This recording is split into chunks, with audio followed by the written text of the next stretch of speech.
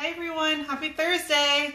You guys are live here on the Dixie Belle Paint Facebook page um, with Brushed by Brandy. My name is Brandy. Um, I am a Dixie Belle Paint brand ambassador and I paint with you guys live every Thursday evening. Um, and tonight we're going to be working on kind of a different technique. I've got my husband Sean here to help answer any questions. Um, we're fresh off a week off. Uh, we didn't do a live last Thursday because I just came back from traveling to Atlanta where I taught um, a whole bunch of you guys at the Bells and Beaux tour, which was an amazing, amazing time. I'm still recovering from it. Amazing time. If you guys ever have the chance to go to an in-person event, um, like one of these conferences, they are absolutely, there are no words for them. I come back just um, totally refreshed for what I get to do for my job. So thank you to everybody who came out to join me. Um, but let's go ahead and paint here on camera tonight. So you guys come on and tell me where you're watching from. And um, let's talk about this desk that I've got behind me. I'm watching from my garage. Oh, okay. So Sean Colliborn, welcome. Thank you for tuning in tonight. Sean's only semi-tuned in, by the way. He's had a long day at work, long week at work. Um, so this is a little Bassett desk that I have here. And let me show you where I'm pulling my color inspiration from this from um, for this from. This is the new Lush Floral Transfer by Redesign with Prima. And I'm super inspired by some of the colors in this transfer. Like this bright red color here. There's a lot of really pretty plums, different shades of purple. I'm not a huge purple fan, but I do like it when I can do it in different shades because sometimes just an undertone in a color makes all the difference in the world. So I like that this is a little bit more of a red purple, whereas this is a little bit more blue. So I'm going to pull in some of the reds in my purples tonight. Um, but I like it against the green. And um, this is a beaut. This piece here is beautiful. It's a large two-piece rose, and this is tea rose 100%. The color in this is tea rose. So I'm super inspired by the purples in this floral here. I'm going to use this transfer on this desk. Now let's talk about this desk. Um, this is by Bassett. It's a little French provincial desk, but what I like to do with a lot of desks is I'm going to take and add a mirror to this and make it a vanity. Um, it's got a very feminine shape to it, so I feel like it's meant to be a vanity already, and it'll just have great storage in it. I have a huge collection of mirrors from other pieces, so the mirror I'm going to add to this is a swivel mirror that um, makes total sense with the vanity piece. So I started on this side over here, and that's because I'm hoping by the end of this live, it's still wet right now, um, I can come over here and we can put our second coat on here, which is going to be a blended coat. But this color right here, I mixed my own custom color. It's going to dry a little bit darker than what it is here on the piece right now, but the colors that I mixed to get that are um, Dixie Belle Muscadine Wine, Muscadine Wine, I don't know. You guys I don't know. I give up. I'm just going to say muscadine because that's what rolls off. I've heard it in songs either way too. So okay, uh, yeah. so then I can't be wrong, right? Um, I like to say muscadine because I'm. I also mixed it with aubergine, and they just sound good together. Muscadine wine and aubergine, muscadine aubergine. So I mixed muscadine wine, aubergine, um, and then to get a little bit lighter tone in it, I um, also added some tea rose, and I mixed two colors here. So the lighter version this is the muscadine and aubergine, and this just has a little bit of tea rose in it. So those are my two colors. So we're going to go ahead and lay a base coat on this piece. Um, so far, I've cleaned this with Dixie Belle White Lightning. Um, and then I ran a coat of water over it. I did strip the top down to the bare wood. It's just at bare wood right now. And it actually needs to be sanded a little bit better. But I always strip my tops first because there is nothing worse than accidentally dripping stripper on a freshly painted piece. Totally agree. So I will always choose to strip my tops first. If I have to come back and sand, that's no big deal. Because I might get some dust, but I can clean dust off. Um, but I don't want to drip chemical stripper onto my furniture piece. So right there, I just laid a coat of my paint color on, and it, I got really good one coat coverage. I'm going to put two coats on this. I did not put Dixie Belle Boss on this. I feel like this piece, this is maple. This desk is maple. And I don't think it's a bleeder. So I did not coat this one in Dixie Belle Boss. I'm just, it's just cleaned and I'm able to put the paint right onto the piece. So I'm gonna pull this drawer out. Everybody's asking about me and the kids last week. Jason, yes, they were angels. Yeah, Don't I wish? Totally angels. No, you know what was hard for me, you guys, is my little guy. Like he couldn't talk on the phone with me without crying. That was hard.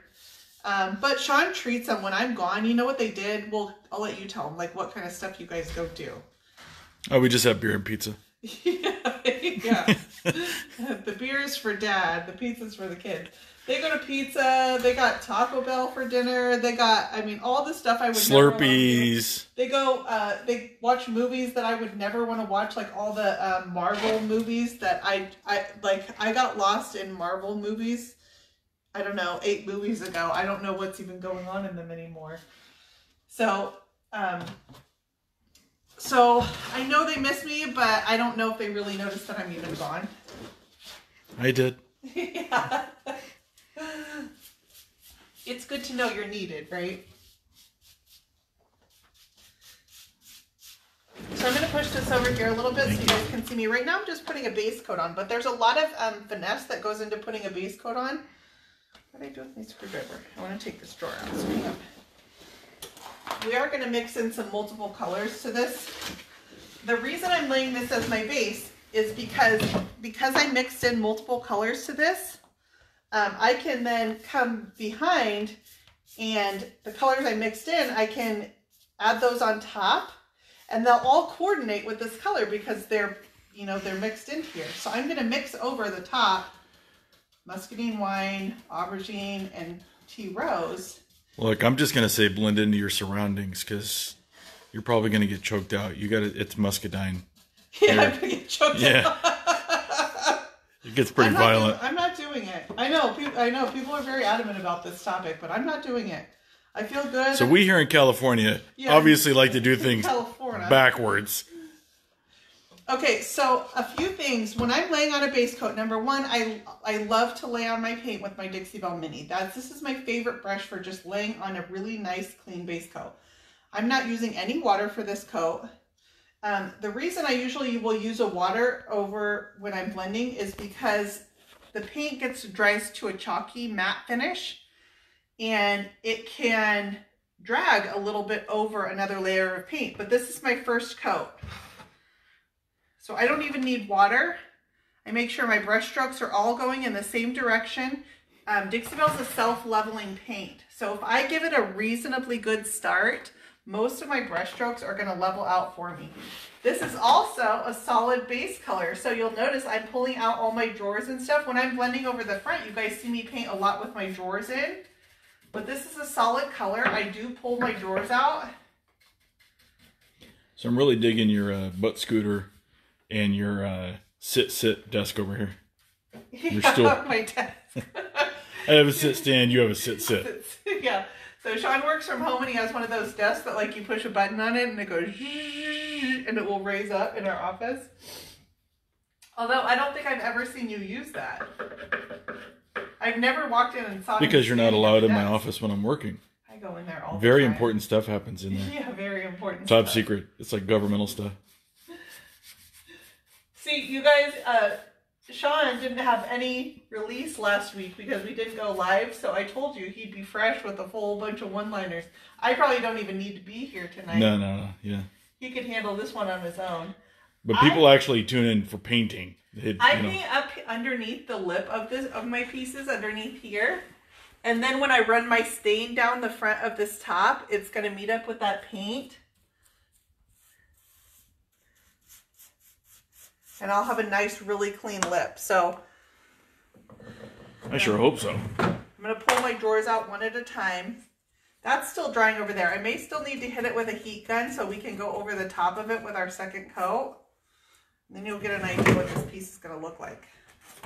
Sometimes too, when I'm putting a base coat on, I will go the opposite direction that I intend to run my paint. Because then when I come back and I brush it, so I just did a vertical brush stroke and now I can brush it horizontally and that gives me really good coverage. Andy says uh, you inspire. You have a garage full of projects and experiments. Uh, I do. Yeah, that's- that's pretty much us. You're welcome. Yeah. Yeah, to everyone who now has a garage full, you're welcome. Yeah. To all the husbands who want to sell it at a yard sale, I'm Sorry. sorry. Yeah. It's a good thing nobody has our address. I don't think those would be care packages coming our way. I used to tell I, I used to tell Sean I think there's worse habits I could have, worse things to be buying out there than like paint. Oh, believe me. Oh, and big pieces of furniture. That's yeah. yeah. that's true. Yeah, that's so weird. The hard thing is that my hobby involves like a large amount of storage. So thankfully, we have a separate building that I keep all my pieces in, and h- half of it is dedicated to my furniture, and the other half is our boat. So, um, but but in our last house, I mean, where we moved from, I used to go live in there, surrounded by um, by furniture storage. Do you guys like my custom color? I'm pretty happy about it. Rave reviews. Yeah, I'm not a purple person, but I think I'm um, putting this little bit of red, the little bit of muscadine wine. Oh, see, that was for you guys. I was throwing Linda says her husband finally gave her a bay in the garage. That's a Yeah. mistake. No, that's when you know. That's a bad one. That's when you know it's a real thing. That's a commitment right there. That's what I had before. I had a bay in our two-car garage. Sending condolences. I now have a bay in our three-car garage and half of a half of an outbuilding. When we built our house, I was going to um so I'm making sure that I'm getting in this is a this is a double drawer. It's actually one piece, but it's a double drawer and I'm going to make sure that I get in here underneath this crevice. And some of that helps when you pull the drawers out, you can see make sure that you don't miss any spots. And here I'll show you again. This is I'll brush my paint on vertically and then when I come back with a horizontal brush stroke that horizontal because that's the grain of my wood. My, the grain of my wood is running horizontally. So I usually will run my brush strokes in the same direction as my wood. So to uh, answer Aaron's question, yes, the storage is on site. Oh yeah, we live on five acres, so it's actually right across from my um, house. That's a good story. Yeah, no, we're not. If I had to rent a storage building, nope. I, even I draw the line there. Yeah, but I know people do. I know people rent storage for furniture. That's just a level I'm not ready for yet. Every woman deserves a she shed. Uh, you know what was hard? I didn't want a she shed because I'm home with the kids all the time. I don't want to be out in like a shed somewhere. I want to have But the workshop, that's what it started as. That was going to be yeah, your specific true. place. But in my defense, we got that workshop because my business was growing so fast that we had to incorporate a separate building into our home build, Oh, there's nothing bad. and it's been it. a lifesaver since then. So you can see that I've got a beautiful base coat on here. My brush strokes are nice and soft. You can even go over the very top of them with just a really soft hand. Just feather those brush strokes out. With um, any product that's self-leveling, you want to avoid going back over it once it starts setting up. So my paint is still nice and wet. I can brush it, but once it starts setting up, you want to avoid going over it. You're just going to pull brush strokes into it. Gary, it's a three car garage, and yes, all vehicles park outside. no, well, that's Right now, anyway. Not, yeah, only because we have a bath. We have two bathtubs on the other side of the garage right now. It has nothing to do with my furniture. So, what is it you like to do, or I like you like to tell me when we finish building a house? Hmm. Let's go ahead and take out one of the tubs no, that's that we just not- put in. No, no, no, no, no, no. Uh, uh-uh, uh, uh. I'm sorry. We're gonna need to pause so we can have a domestic issue here. I take issue with everything Sean just said. Um, so we just built a house. Yes, that part is true. So far, so good. Okay, we are in agreement there, right? Um, I don't want to talk about this anymore. It's really bothering me. on our well it's kind of hard to explain but on our building plans this is some of the stuff you don't notice there's a six inch wall in our bathrooms that's just a filler wall behind the tubs so it's to the side of the to the tub. side of the tub so we could have had a six inch longer bathtub instead of this weird six inch filler wall um, the reason our architect did that was to make it a standard size tub but I hate this little six inch filler wall. And Sean hates it too, so don't just put it on me. We noticed it during the build and thought, oh, okay, well, we'll just deal with it. But then we got to the point where we're like, why? why just deal with it? So we are. So I'm already tired of talking about this. How long do you use your brushes before you have to toss them? Okay, Dixie Belle brushes. So this is something really important. Um, I got asked a question on my YouTube Thank you, Lisa. when I decided to start using Dixie Belle brushes. Dixie Belle just started um, offering their brushes last year, last winter, um, was when Dixie Belle came out with their line of brushes. Before that, I used um, an inexpensive brush from the hardware store, and it worked fine. But I, I'm kind of glad I did because it gave me the um, experience to know what the difference is between a less expensive hardware store brand brush and the Dixie Belle brushes. And the difference that I know is I have never thrown away a Dixie Belle brush. I threw away a ton of my cheap brushes. They don't clean as well. They do not have the lifespan. They're great. Hardware store brushes are great if you're going to be painting one or two pieces for your house. But if you, you know, want to make a hobby of this, then I would absolutely say invest in a nicer quality brush. So I have never thrown away one of my Dixie Belle brushes. The reason is because they clean amazingly well. Look at these brushes. You can tell by the handles how beat up some of them are. That's a brush I've used a lot. Some of them are a little bit newer and not as beat up. But what matters is how well the bristles clean. And these bristles clean amazingly well. So I can clean them use after use. I don't worry so much about the handles. Although I've tried stripping the handles when they get really dirty, dirty that doesn't work very good though. Um, And those are minis. so these are the Dixie Belle Mini, and I have, I have a lot of them. I, I have, I've not even counted. Sheila. she has two of them somewhere. She sort of lost them. like her marbles. Sheila, they're out there in your garage with dried paint on them. Another thing stuck in my paint.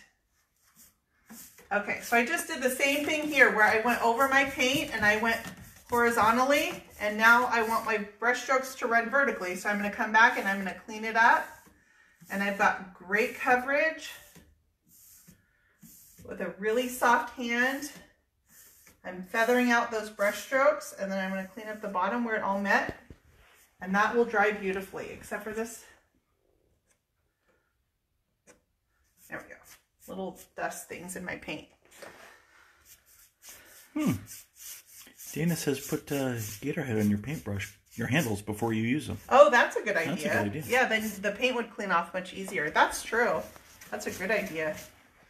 Clearly, I've not done that, but but my- Clearly, I haven't. My point being that um, I've never thrown away one of my Dixie Belle brushes. Never, never. Um, in fact, um, some were at risk of being thrown out at the uh, at the Bells and Beaux tour, and I would not even allow that to happen. I salvaged them because, to me, these are these are worth their weight in gold. Um, it's good to try other brushes so you know the difference, but I would never go back now. But somebody had asked me when I transitioned over to the Dixie Belle brushes, and the answer is when they started um, offering them, which was just last winter. So we have, it's roughly our one year anniversary of having Dixie Belle brushes. So I've got a pretty good base coat here. I do need to get underneath there, but I won't make you guys watch me do that. Throw at me the uh, name of the colors again. So the colors I mixed to um, create this, this is a custom color mix here that I'm putting on. Um, really quick, let me sidebar for a minute. Um, my paint's starting to dry here, but I noticed a spot that I missed. I added a little bit of water. Instead of trying to brush over the paint after it's already started getting sticky, add a little bit of water and now I can brush over it. It basically reactivates my paint and makes it workable again. But don't try to brush over your paint once it started drying. Okay, and then my custom color mix came from um, a mix of aubergine, with wine. aubergine, Mm-hmm. muscadine wine, and then I mixed a lighter version of it, which I'm going to use on my second coat. And for that, I added in a little bit of tea rose with those two. So my three colors are muscadine, aubergine, tea rose. and just to let you know, June has named your color Fireball. Thank you for that, Fireball June. We'll call you Fireball June after my custom color mix, of course. Wink, wink. So I'm going to hit this now with my heat gun because it's not as dry as I'd hoped it would be after me yapping for that much time. So let's dry my paint a little bit.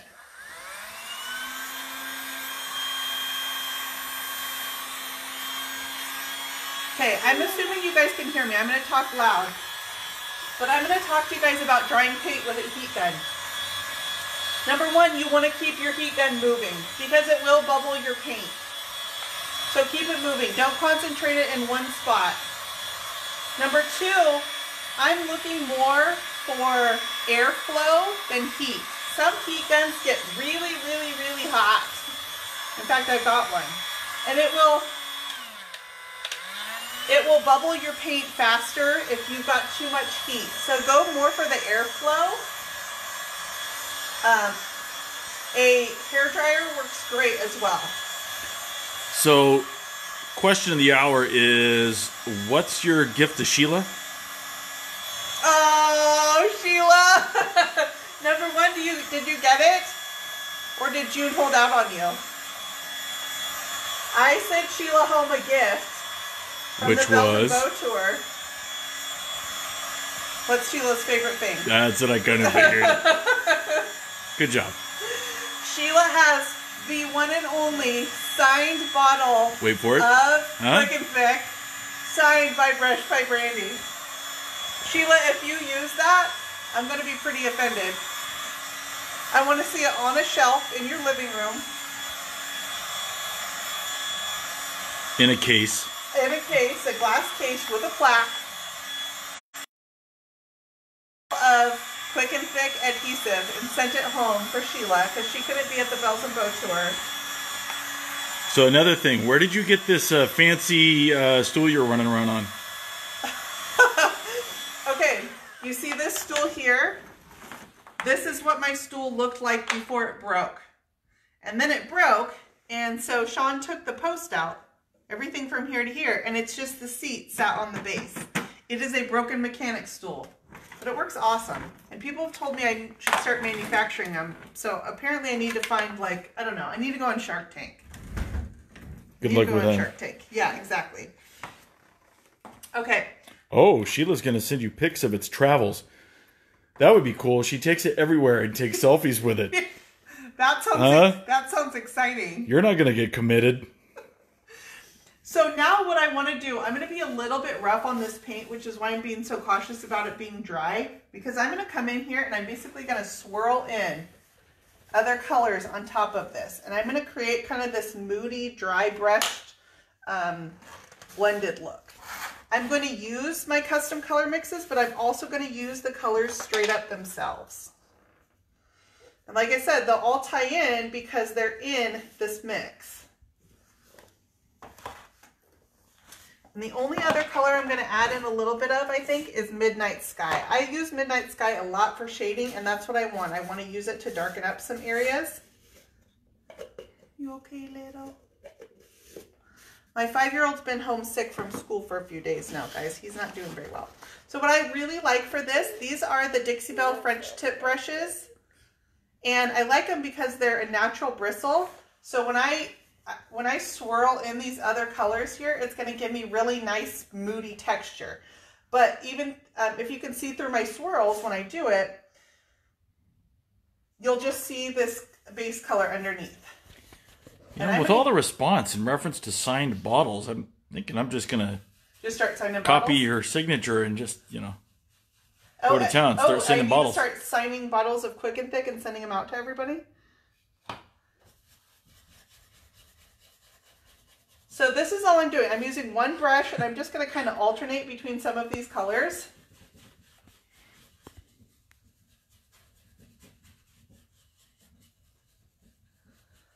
I'm alternating on the darker colors, but when it comes to putting the lighter ones in, I'll go ahead and use a different brush. So, so far I've got the- Midnight Sky, the Muscadine Wine, the Aubergine. My brush is totally dry and I'm just swirling them in together. And then you'll be able to start seeing the layers where some of these colors come together. Okay, let's put some of the lighter color in. So I'm just going to tip the brush in a little bit of my lighter color and work that in.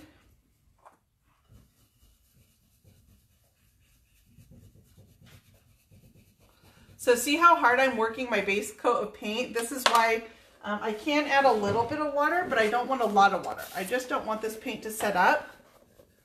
But I still want to get this. Yeah, see, I'm starting to pull a little bit of my base color here. Can you see that? That's just I've overworked that spot.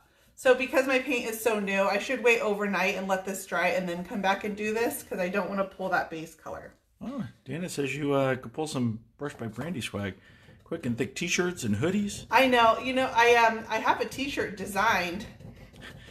so it's like, okay, what is this quick and thick? what are you guys talking about? Quick and thick is an adhesive that I like to use to attach my molds with.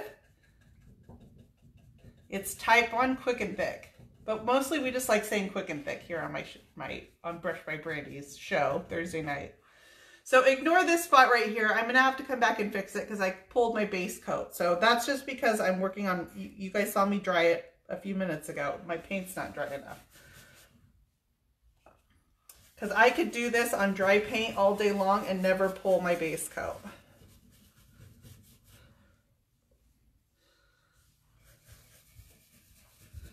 But I kind of want to get this like more moody, stormy What's that brush look. that you're using? This is the Dixie Belle French tip brush. Jizz. These are awesome. They were out of stock for a little bit, but I think they're back. They're back.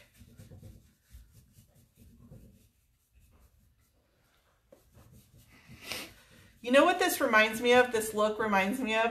Okay, um, you know when you used to go get your pictures taken at J.C. Penney, like your mom would make you dress up in your Sunday best and go to J.C. And they pulled down that backdrop oh and it had like you know it had all the colors kind of swirled in there. That's what this kind of reminds me of.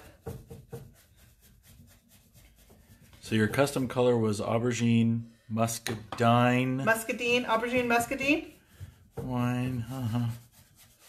And then I did a lighter version of it, which here I'm going to throw a little bit of it in this drawer center right here. Bam that I added a little bit of tea rose and it just created this kind of mauve color.